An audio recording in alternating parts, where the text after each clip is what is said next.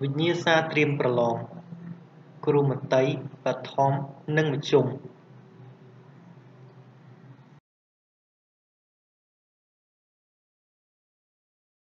វិញ្ញាសាទី5សំណួរទី1តើមានមូលហេតុអ្វីខ្លះ ដែលបណ្ដាលឲ្យមានជនខ្លះប្រើប្រាស់គ្រឿងញៀនចម្លើយ បណ្ដាលមកពីកកត្តាបុគ្គលផ្ទាល់អវិជ្ជាល្ងងឆាប់ជឿគេចាញ់បោកគេ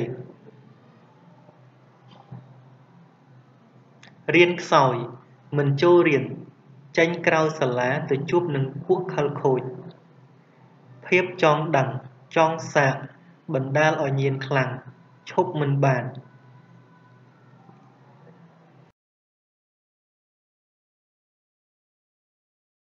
ចង់សប្បាយ ដើម្បីបំបត្តិការធុញទ្រាន់ គិតថាអាចភ្លេចបញ្ហាផ្សេងផ្សេងបាន សេពគប់មិត្តមិនល្អ ទទួលការគៀបសង្កត់គំរាមកំហែងពីក្មេងទំនើងត្រូវបានគេបង្ខំឲ្យប្រព្រឹត្តដើម្បីទុកធ្វើជាអាយ៉ងរបស់ពួកគេ ក្នុងការស្វែងរកប្រាក់ ខកត្តាគ្រួសារ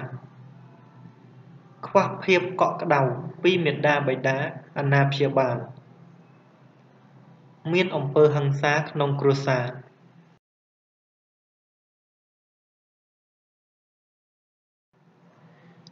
ជីវភាពគ្រួសារក្រីក្រ ត្រូវបង្ខំចិត្តរកស៊ីជួញដូរគ្រឿងញៀនកត្តាសង្គម លំហូរចូលនៃវប្បធម៌បរទេសមានការចរាចរទំនិញคล้ายคล้ายគ្រឿងញៀនមានការឆោកពីសំណាក់អាជ្ញាធរមានសមត្ថកិច្ចកត្តាសំខាន់គឺមេដាបេដាត្រូវណែនាំអប់រំកូនឲ្យបានដិតដល់តាមដានរាល់សកម្មភាពរបស់កូនកុំបណ្ដោយឲ្យកូនចាយវាយប្រកាសខ្ជះខ្ជាយ ឬបណ្ដោយឲ្យកូនសេពគប់មិត្តមិនល្អដែលធ្វើឲ្យពិបាកកែ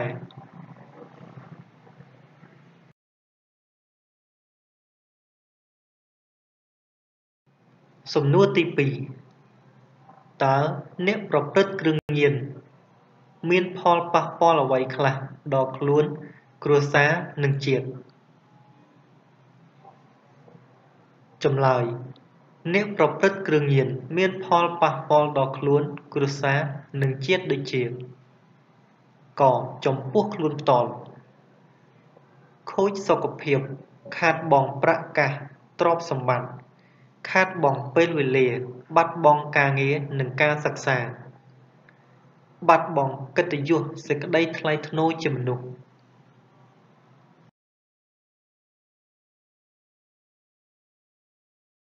ប៉ះពាល់ដល់ខួរក្បាល អាចក្លាយជាមនុស្សឆ្កួតឬវិកលចរិតមានចរិតកាចសាហាវខូខើចូលចិត្តប្រើអំពើហិង្សាហ៊ានប្រព្រឹត្តអំពើចោរកម្មឆក់ប្លន់ធ្វើអ្វីមួយខ្វះការពិចារណាបាត់បង់មនុស្សដែលជាទីស្រឡាញ់របស់ខ្លួន បាត់បង់ឱកាសល្អក្នុងជីវិត ខូចអនាគតអាចជាប់គុកឬស្លាប់ខ្លួន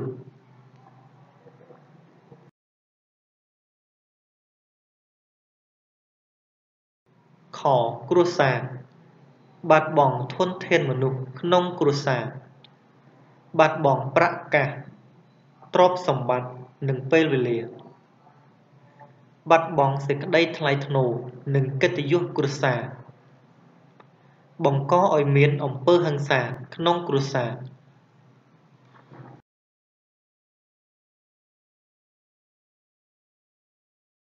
គោល សង្គមជាតិបាត់បង់ធនធានមនុស្សក្នុងសង្គម បាត់បង់សេចក្តីថ្លៃថ្នូរ កិត្តិយសសង្គមជាតិ កើតមានអំពើអសន្តិសុខក្នុងសង្គម កើតមានភាពអនាធិបតេយ្យច្របូកច្របល់ក្នុងសង្គមសង្គមជាតិគ្មានការរីកចម្រើន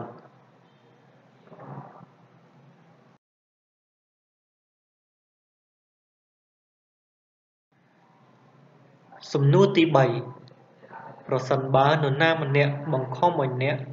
ប្រើគ្រឿងញៀនតើអ្នកត្រូវមានវិធីបដិសេធដូចម្តេចចម្លើយ ប្រសិនបើនរណាម្នាក់បង្ខំឲ្យយើងប្រើគ្រឿងញៀនយើងត្រូវមានវិធីបដិសេធដោយនិយាយថាសុំទោសខ្ញុំមានជំងឺខ្ញុំប្រញាប់ណាស់ខ្ញុំតមចំណីទេអរគុណច្រើនណាស់ខ្ញុំមិនអាចទេ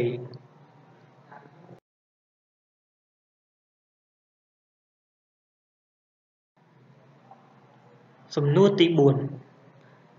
តើជនដែលប្រព្រឹត្តគ្រឿងញៀននឹងត្រូវមានទោសដូចម្តេចខ្លះចម្លើយជនដែលប្រព្រឹត្តគ្រឿងញៀននឹងត្រូវមានទោស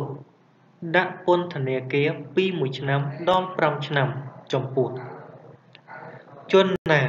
សម្រួលដោយចេតនាឲ្យជនណាម្នាក់ប្រើប្រាស់គ្រឿងញៀនដោយខុសច្បាប់ដែលបណ្តាលឲ្យមានគ្រោះថ្នាក់ធ្ងន់ធ្ងរ ទោះយកថ្លៃក្តី មិនយកថ្លៃក្តីជនណាដែលលួចដាក់គ្រឿងញៀនដែលបណ្តាលឲ្យមានគ្រោះថ្នាក់ធ្ងន់ធ្ងរក្នុងអាហារភេសជ្ជៈឬក្នុងសម្ភារៈផ្សេងផ្សេងទៀតដោយមិនឲ្យអ្នកបរិភោគឬអ្នកប្រើប្រាស់ដឹង